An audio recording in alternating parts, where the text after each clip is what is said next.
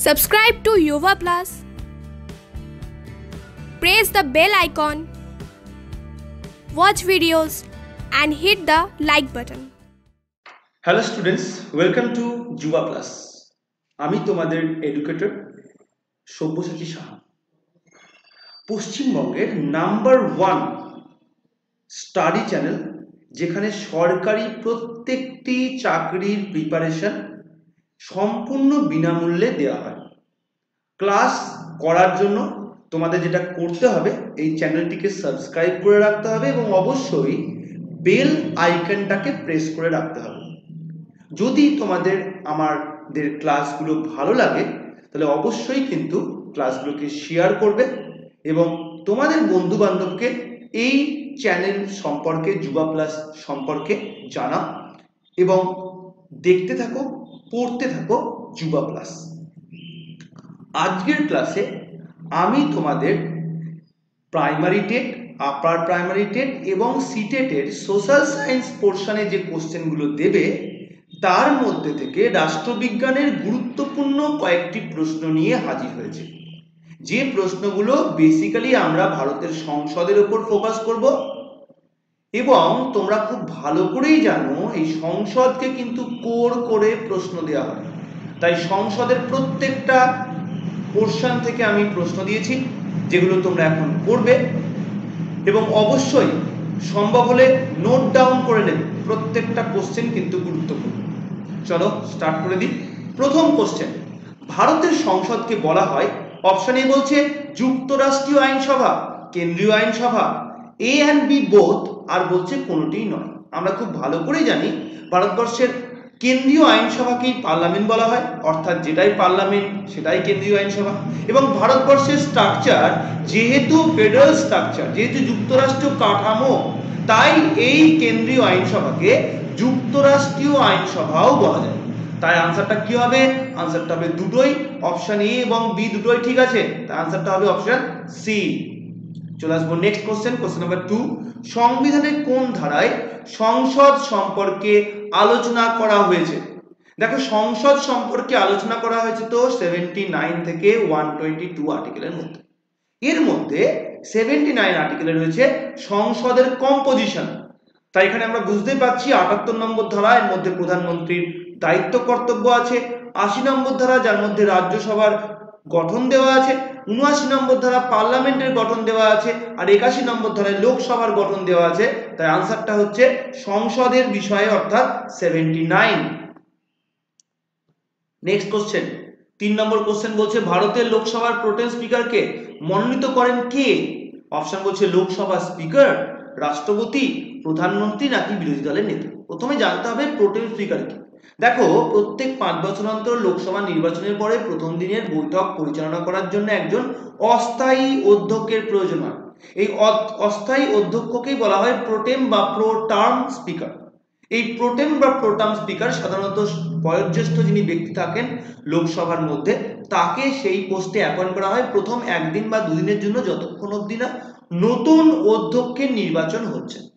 তাহলে এই পদে অ্যাপয়েন্ট কে করেন? অ্যাপয়েন্ট করেন রাষ্ট্রপতি।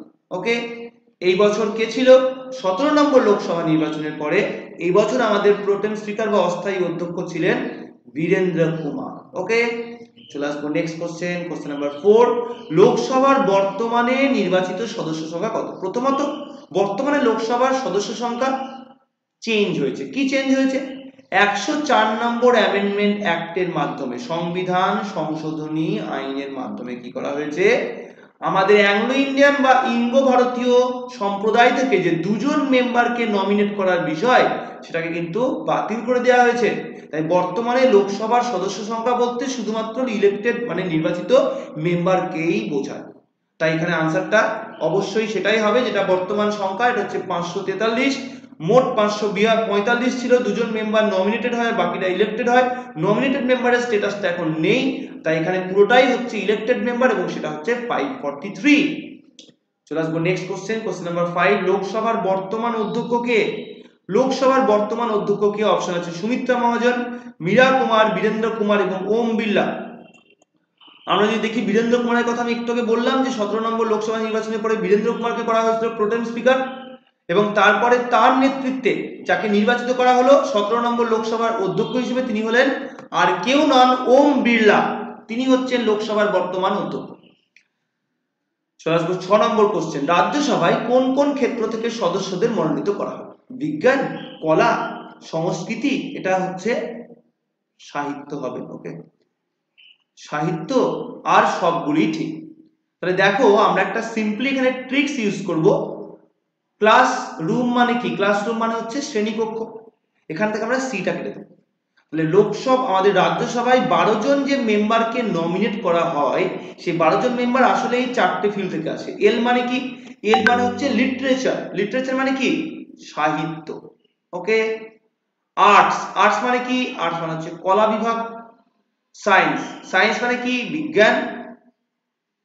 আর এস এস মানে হচ্ছে সোশ্যাল সার্ভিস সামাজিক কাজকর্মের সঙ্গে যুক্ত আছে। তাহলে এই চারটে ফিল্ড থেকে দেওয়া হয়, তো অবশ্যই বুঝতে পারছি বিজ্ঞান ঠিক আছে, কলাও ঠিক আছে, সাহিত্য ঠিক আছে সো রাইট আনসার ইজ সবগুলোই ঠিক ওকে তাহলে এই ট্রিক্সটা কিন্তু ইউজ করব এলএএসএস ওকে এলএএসএস এটা ইউজ করব literature arts science social service চলে আসব next question question number seven ভারতের সংবিধানের কোন অংশের মধ্যে সংসদের বিষয় আলোচনা করা হয়েছে? কোন অংশ? অংশ মানে আমাদের সংবিধানের পঁচিশটা অংশ রয়েছে, তোমরা জানো। এই পঁচিশটা অংশে বিভিন্ন অংশে বিভিন্ন বিষয় আছে, যেমন চতুর্থ অংশে আছে কি? ডাইরেক্টিভ প্রিন্সিপালস পঞ্চম অংশে কেন্দ্র সম্পর্কে বলা আছে। ষষ্ঠ, রাজ্য সম্পর্কে বলা আছে। তো কেন্দ্রীয় আইনসভা সংসদ, তাহলে কেন্দ্রীয় আইনসভা নিশ্চয়ই কেন্দ্রীয় বিষয় যেখানে ডিসকাস করা আছে, তাতেই থাকবে। অর্থাৎ পঞ্চম অংশ, এটাই হচ্ছে রাইট আনসার চলে আসব next question question number eight বলছে পার্লামেন্টের কোন কক্ষে অর্থ বিল প্রথমে পেশ করা হয়? দেখো, পার্লামেন্টের কোন কক্ষে অর্থ বিল প্রথমে পেশ করা হয় সেটা বলা হয়নি। বলা হয়েছে, কোন কক্ষে অর্থ বিল পেশ করা যাবে না। বলা হয়েছে, রাজ্যসভায় প্রথমে করা যাবে। আমরা জানি লোকসভা, রাজ্যসভা আর প্রেসিডেন্ট এই তিনটে নিয়ে হচ্ছে আমাদের পার্লামেন্টের গঠন। তাহলে লোকসভা যদি না হয়, তাহলে অন্য রাজ্যসভায় যদি না হয়, তাহলে কোথায় হবে? লোকসভাতে হবে। তার মানে আমাদের বুঝে নিতে হবে যে পার্লামেন্টের রাজ্যসভায় প্রথমে বিলটা ঢুকবে না মানে প্রথমে ঢুকবে কোথায়? লোকসভাতে। সো রাইট আনসার অবশ্যই অপশান এ লোকসভা। চলে আসব next question question number nine বলছে, ভারতের সংসদীয় ব্যবস্থা কোন দেশের সংবিধান দ্বারা প্রভাবিত? দেখো, ভারতের যে সংসদীয় ব্যবস্থা পুরোপুরি কিন্তু ব্রিটিশ, ব্রিটিশদের দান ব্রিটিশরা ইন্ডিয়াতে এটা প্রথম ইন্ট্রোডিউস করে। যে ব্রিটিশরা কি? নিশ্চয়ই নিজেদের দেশের সংবিধান থেকেই ইন্সপায়ার হবে? তো রাইট আনসার হচ্ছে ব্রিটেন। এক, দশ নম্বর কোশ্চেন তিনশো আটষট্টি নম্বর ধারায় সংবিধানের সংশোধনের ক্ষমতা রয়েছে। সুপ্রিম কোর্টের হাতে, না পার্লামেন্টের হাতে, না লোকসভার হাতে, না রাজ্যসভার হাতে? দেখো, ভারতের পার্লামেন্টের হাতে ভারতের সংবিধান সংশোধনের ক্ষমতা দেওয়া হয়েছে এই তিনশো আটষট্টি নম্বর ধারা তো সিম্পলি আনসারটা আমরা বুঝতে পারছি অপশন বি অর্থাৎ পার্লামেন্টের হাতে। পার্লামেন্টই আমাদের সংবিধানকে একমাত্র সংশোধন করতে পারে। চলে আসবে এগারো নম্বর কোশ্চেন বলছে একটি বিল, কমা, অর্থ বিল কিনা, সেই সার্টিফিকেট কে দেন? কোন একটা বিল, অর্থ বিল কিনা, সেই সার্টিফিকেট দেওয়ার অথরিটি কে? রাষ্ট্রপতি না লোকসভার অধ্যক্ষ নাকি প্রধানমন্ত্রী, নাকি কেন্দ্রীয় অর্থমন্ত্রী? দেখো, অর্থ বিল কিনা সেটা সার্টিফাই করেন Lok Sabha speaker so right answer আমরা বুঝতে পারছি, লোকসভার অধ্যক্ষ বা স্পিকার তিনি কিন্তু কোন একটা বিল, কোন ধরনের বিল সেটা সার্টিফাই করে দেন। অর্থ বিল হলে অবশ্যই সেই সার্টিফিকেশন তিনিই দেবেন। নেক্সট কোশ্চেন কোশ্চেন নাম্বার বারো। পার্লামেন্টের যৌথ অধিবেশনে কে আহ্বান করেন? যৌথ অধিবেশন মানে ধরো কোন একটা সাধারণ বিল পার্লামেন্টের কোন একটা হাউসে ইন্ট্রোডিউস হলো। এখন এই সাধারণ বিল একটা হাউসে পাস হয়ে গেলে অন্য হাউসে যাবে। সেখানে যদি পাস না হয় রিজেক্ট হয়ে যায়, তখন সেই বিল কিন্তু আর প্রেসিডেন্টের কাছে যেতে পারবে না। প্রেসিডেন্টের কাছে যেতে না পারলে কি সাইনও করতে পারছে না। মানে বিলটার আইন হতে পারছে না। এই রকম কন্ডিশনে কি হয়? প্রেসিডেন্ট যৌথ অধিবেশন ডাকেন দুটো অধিবেশনকে জয়েন করে দেয়। এই জয়েন্ট অধিবেশনে লোকসভা রাজ্যসভাকে একসঙ্গে জয়েন করে অধিবেশন ডাকেন রাষ্ট্রপতি। যে অধিবেশনকে প্রিসাইডিং করেন স্পিকার এবং এই অধিবেশনে যদি বিলটাকে পাস করানো যায়, তাহলে কিন্তু সিম্পলি বিলটা হাউসে পাস হয়ে যাবে। এই বিষয়টা আবার আর্টিকেল একশো আট ওয়ান জিরো এইটে দেওয়া আছে। ওকে এটাতে কিন্তু আমরা, এটা মনে রাখবে, এই ট্রিক্সটা ইউজ করব। জয়েন্ট মানে এইট হয়ে গেল, আর ওয়ান জিরো ওয়ান জিরো এইটের মধ্যে এই যৌথ অধিবেশনের কথা বলা আছে কে রাখবে? যৌথ অধিবেশন যৌথ অধিবেশন আহ্বান করবেন রাষ্ট্রপতি, ভারতের রাষ্ট্রপতির হাতে ওই অথরিটি আছে। ওকে আর এই কোশ্চেনটা আমরা যদি বলে যে যৌথ অধিবেশন কে পরিচালনা করবে, তখন আমরা আনসার করব লোকসভার অধ্যক্ষ। ওকে চলো চলে আসব, তেরো নম্বর কোশ্চেন একটি অর্থ বিলকে রাজ্যসভা সর্বোচ্চ কতদিন আটকে রাখতে পারে? অপশন আছে তিন মাস, ছ মাস, চোদ্দ দিন পনেরো দিন। তো আমরা জানি মানি বিল মানে সেখানে রাজ্যসভার পাওয়ার কম, লোকসভার পাওয়ার বেশি এবং রাজ্যসভা এটাকে বড় জোর চোদ্দ দিন আটকে রাখতে পারে। ওকে অর্ডিনারি বিল হলে হতো ছ মাস। রাষ্ট্রপতি কত নম্বর ধারা অনুযায়ী কোনো বিলে সই করতে পারে? প্রেসিডেন্ট কোন একটা বিলে সাইন না করলে বিল আইন হয় না এবং সেই আর্টিকেলটা হচ্ছে একশো এগারো। বাকি আর্টিকেলগুলোতে কি আছে বলে দিয়ে একশো দশে আছে। অর্থ বিলের সংজ্ঞা। একশো নয়ে আছে অর্থ বিল কীভাবে পাস হবে? আর একশো বারোতে আছে কেন্দ্রীয় বাজেট পনেরো নম্বর কোশ্চেন সংসদের অধিবেশন বন্ধ থাকাকালীন সময় কে আইন তৈরি করতে পারে?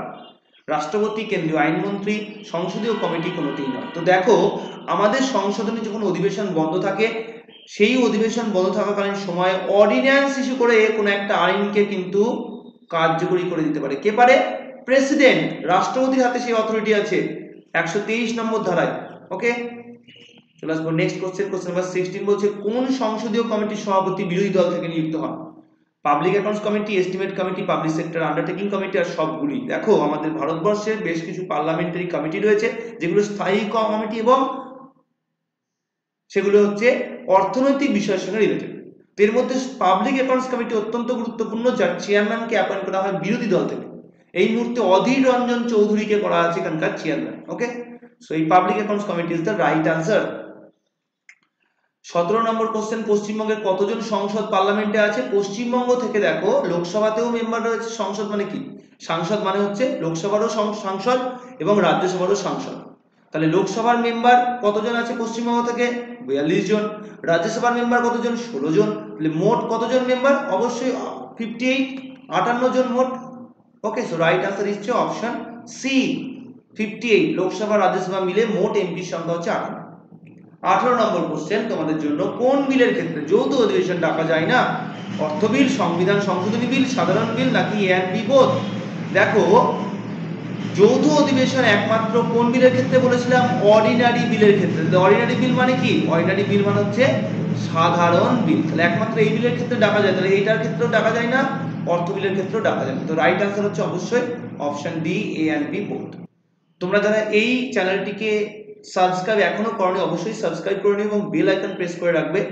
এই চ্যানেলের মধ্যে আমার অনেকগুলো ভিডিও আছে, প্রায় বারোর বেশি ভিডিও আছে, বারোটারও বেশি। তো তোমরা চাইলে সেই ফোল্ডারটাকে দেখতে পারো। সেখানে অনেক কিন্তু এরকম সংবিধান এবং ইন্ডিয়ান পলিটি সংক্রান্ত বিষয় ডিসকাস করা হয়েছে। যেমন রিসেন্টলি সৃজেন্সির অ্যামেন্ডমেন্ট বিল হয়েছিল, সেই সৃজেন্সির অ্যামেন্ডমেন্ট বিল সংক্রান্তও কিন্তু ডিসকাশন রয়েছে। তোমাদের করতে হবে কি? ভিউ চ্যানেলে যেতে হবে। ভিউ চ্যানেলে ক্লিক করে সেখানে দেখবে যে প্লেলিস্ট আছে। প্লেলিস্টের মধ্যে অনেকগুলো ভিডিও পরপর ফোল্ডার করা আছে। সেখানে স্কুল সার্ভিস কমিশনের ফোল্ডার আছে, সেখানে স্কুল সার্ভিস কমিশনের ক্লাস আছে, সেখানে পলিটির ফোল্ডার আছে, ইতিহাসের ফোল্ডার আছে জিওগ্রাফির ফোল্ডার আছে। তোমরা তোমাদের প্রয়োজন মতো ক্লাসগুলো সেখান থেকে দেখো এবং চাইলে তোমরা এই বাল্ক ভিডিওকে কিন্তু একসঙ্গে শেয়ার করে দিতে পারবে। ওকে চলে আসব উনিশ নম্বর কোশ্চেন সংসদ সম্পর্কে বিশদে আলোচনা করা হয়েছে কোন ধারায়? দেখো, সাধারণত আটাত্তর থেকে একশো চব্বিশ, এটা হচ্ছে আমাদের আটাত্তর নম্বর ধারায় প্রধানমন্ত্রীর ডিউটি আমরা পড়েছিলাম, আর একশো চব্বিশ হচ্ছে সুপ্রিম কোর্টের আর্টিকেল তো এটা নয় ওকে অপশন বি বলছে সেভেন্টি নাইন থেকে one twenty three actually seventy nine থেকে একশো বাইশ, তো একশো তেইশ এখানে অপশন নেই, ঠিক আছে, চলো নেক্সট অপশন দেখি। চুয়াত্তর থেকে আটাত্তর, চুয়াত্তর থেকে আটাত্তর এটা হচ্ছে কেন্দ্রীয় আইনসভা ইউনিয়ন কাউন্সিল অফ মিনিস্টার বা কেন্দ্রীয় আইনসভার সম্পর্কে এখানে বলা আছে ওকে কেন্দ্রীয় রাষ্ট্র, কেন্দ্রীয় হচ্ছে মন্ত্রিসভা ওকে কেন্দ্রীয় মন্ত্রিসভা সম্পর্কে বলা আছে এই সেভেন্টি ফোর থেকে সেভেন্টি এইট চলে আসব বাহান্ন থেকে একশো একান্ন, এটা পুরো কেন্দ্র সম্পর্কে বলা আছে। সিম্পলি আমরা বুঝতে পারছি আর্টিকেলটা একশো বাইশ অব্দি হওয়া উচিত অপশনে একশো তেইশ আছে, তো আমাকে এটাকেই আনসার করতে হবে। এরকম অনেক কোশ্চেন কিন্তু তোমরা দেখতে পাবে, যেখানে একদম নিয়ারেস্ট মনে হচ্ছে, একটু মনে হচ্ছে অন্যরকম।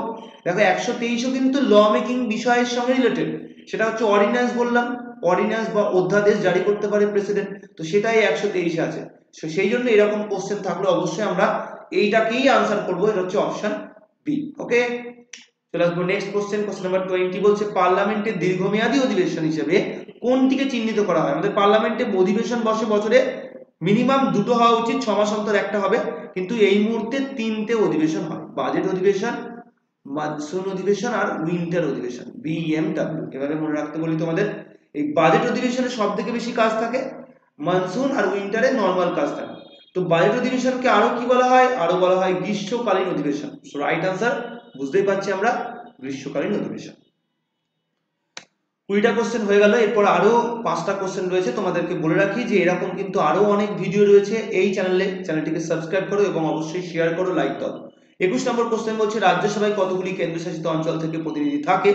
আটজন, নজন, চারজন, তিনজন? দেখো, রাজ্যসভায় একমাত্র সেই কেন্দ্রশাসিত অঞ্চল থেকেই মেম্বার থাকতে পারে যে কেন্দ্রশাসিত অঞ্চলে এমএলএ আছে। এমএলএ আছে মানে কি? সেখানে তার মানে বিধানসভা আছে। তাহলে বিধানসভা আছে এরকম হাউস বলতে, বিধানসভা আছে এরকম কেন্দ্রশাসিত অঞ্চল বলতে, এমন স্টেট যেখানে রাজ্য আইনসভা রয়েছে। তাহলে এমন কোনো কি ইউটি আছে যেখানে রাজ্য আইনসভা রয়েছে? আছে। কোথায় কোথায় আছে? তিনটে এই মুহূর্তে ইউটি আছে, দিল্লি পন্ডিচেরি আর জেএনকে এই তিনটে ইউটিতে কিন্তু রাজ্য আইনসভা রয়েছে। সো রাইট আনসার বুঝতেই পারছ অপশন ডি তিনটে ইউটির কথা বলব। দিল্লি, পন্ডিচেরি এবং জম্মু অ্যান্ড কাশ্মীর। বাইশ নম্বর কোশ্চেন বলছে, সংসদরা, সাংসদরা নিম্নোক্ত কোন নির্বাচনে ভোট দিতে পারেন না? দেখো, লোকসভা নির্বাচনে তো ভোট দেবে নিজেরাই লোক, লোকসভা নির্বাচনে ভোট দেবে। গোটা ভারতবর্ষের সব মানুষই ভোট দেয়। তাহলে সাংসদরাও দেবে। রাজ্যসভা নির্বাচনে ভোট দেয়, একটু আগে বললাম, এমএলএরা ভোট দেয়, তারা নিশ্চয়ই ভোট দেবে না এখানে। সাংসদরা, তারা এমএলএ নয়, তারা বিধায়ক নয়, রাষ্ট্রপতি এবং উপরাষ্ট্রপতি নির্বাচন। অবশ্যই রাষ্ট্রপতি নির্বাচনেও এমপিরা ভোট দেয় মানে সাংসদরা ভোট দেয়, উপরাষ্ট্রপতি নির্বাচনেও সাংসদরা ভোট দেয়। ডিফারেন্স শুধু এটাই রাষ্ট্রপতির ভোটে ইলেক্টেড এমপিরা ভোট দেয় ইলেক্টেড সাংসদ, নির্বাচিত সাংসদরা। আর উপরাষ্ট্রপতি নির্বাচনে নির্বাচিত এবং মনোনীত দুই ধরনের সাংসদরাই ভোট দেয়। তো এটাও ঠিক আছে। তো সবগুলোই তো নয় তাই আনসারটা বুঝতেই পারছ কোনটাই ভোট দেয় না রাজ্যসভা নির্বাচনে ভোট দেয় না is the right answer okay তেইশ নম্বর কোশ্চেন এর মধ্যে কোনটি পার্লামেন্ট তৈরি করতে পারে?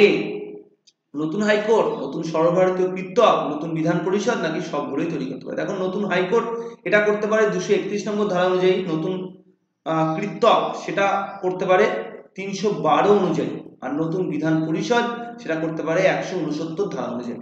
সেগুলো সবগুলোই পার্লামেন্টের হাতে অথরিটি আছে। সো রাইট আনসার অবশ্যই আনসার হবে। অপশন ডি সবগুলোই তৈরি করতে পারে চলে আসব। চব্বিশ নম্বর কোশ্চেন রাজ্যসভার অন্যান্য নামগুলি কি? আমরা জানি রাজ্যসভাকে বিভিন্ন নামে ইন্ডিকেট করা হয়, যেমন সংসদের উচ্চকক্ষ, সংসদের দ্বিতীয় কক্ষ, রাজ্যগুলির পর্ষদ এবং সেগুলো বলা হয়। এবং আমরা জানি লোকসভাকেও কিন্তু নিম্ন কক্ষ, প্রথম কক্ষ এবং জনগণের কক্ষ বলে ইন্ডিকেট করা হয়। তো রাইট আনসার অবশ্যই অপশন ডি সবগুলোই ঠিক আছে। পঁচিশ নম্বর কোশ্চেন সাংসদ নির্বাচিত হওয়ার নতুন ন্যূনতম বয়স কত? দেখো, সাংসদ মানে হচ্ছে লোকসভার মেম্বার রাজ্যসভার মেম্বার তাহলে লোকসভার এমপি হোক বা রাজ্যসভার এমপি হোক, একটা নির্দিষ্ট বয়স লাগে লোকসভার ক্ষেত্রে পঁচিশ, রাজ্যসভার ক্ষেত্রে সেটা তিরিশ। তাহলে মিনিমাম কত হলে? পঁচিশ বছর হলেই কিন্তু সে লোকসভার ভোটে দাঁড়াতে পারবে। শুধু লোকসভা নয়, বিধানসভার ভোটেও হচ্ছে এই এজটাই লাগে। ওকে তাহলে আমাদের বাকি অপশনগুলো আমরা দেখে নেব। তিরিশ বছর বয়স কোথায় লাগে? তিরিশ বছর বয়স লাগে রাজ্যসভা আর এসএলসির ক্ষেত্রে। পঁয়ত্রিশ বছর লাগে প্রেসিডেন্ট ভাইস প্রেসিডেন্ট এবং গভর্নরের পদে আসার জন্য এবং একুশ বছর লাগে পঞ্চায়েত এবং মিউনিসিপ্যালিটির ভোটে দাঁড়ানোর জন্য। সো রাইট আনসার হচ্ছে অপশান এ তো আজকে তোমাদের এই পঁচিশটা কোশ্চেন ছিল, যে পঁচিশটা কোশ্চেন আমরা ডিসকাস করলাম। গুরুত্বপূর্ণ পার্লামেন্টের ওপর ফোকাস করে। এরপরে আরও এরকম ক্লাস তোমাদের দেওয়া হবে। CTET TET upper primary TET এই বিষয়গুলো নিয়েই আমরা ডিসকাস করতে থাকব। তোমরা চোখ রাখো যুবা প্লাসে সাবস্ক্রাইব করো এবং অবশ্যই লাইক দিয়ে শেয়ার করবে এবং দেখতে থাকো, পড়তে থাকো যুবা প্লাস নেক্সট ক্লাসে আবার দেখা হবে, ততক্ষণ অবধি